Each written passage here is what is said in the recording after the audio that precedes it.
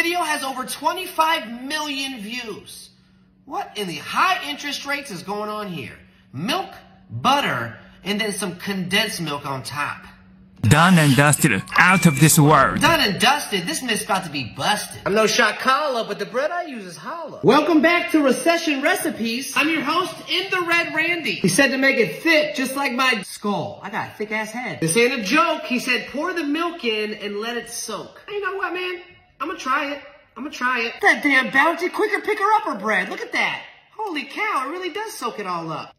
All right. Bread is heavier than a newborn baby's head, man. That thing's hefty. Hefty, hefty, hefty. Whippy, whippy, whippy. Hey, welcome back to Cooking Like a Crackhead. I don't have a microwave, so I gotta melt my butter on the skillet. Do you ever just sit and think, like, what could my life have been if I just stayed in school? Nah. Am I using the whole stick? You better believe it. Pour the dang butter on top. That's a lot more butter than he used. How do I know when to flip it? Are my darn cooking tweezers? That is so dense. That's so dense. I guess we just wait till it gets brown and then we go to town. Okay, here goes nothing. Oh, oh, that's nice. Okay.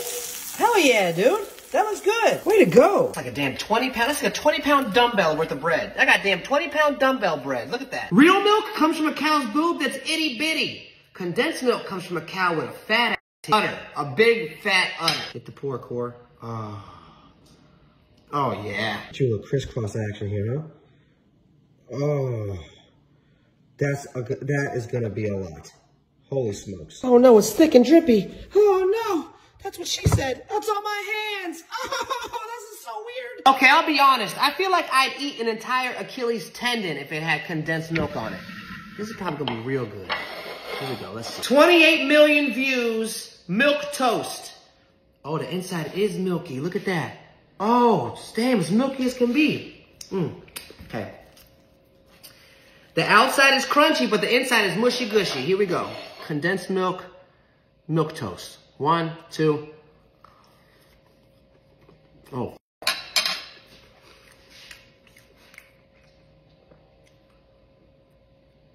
Holy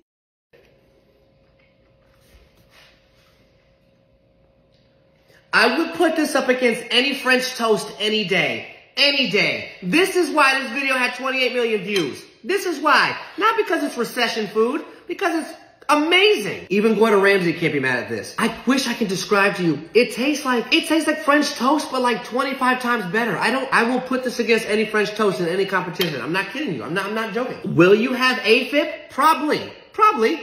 But it's a delicious way to die, okay?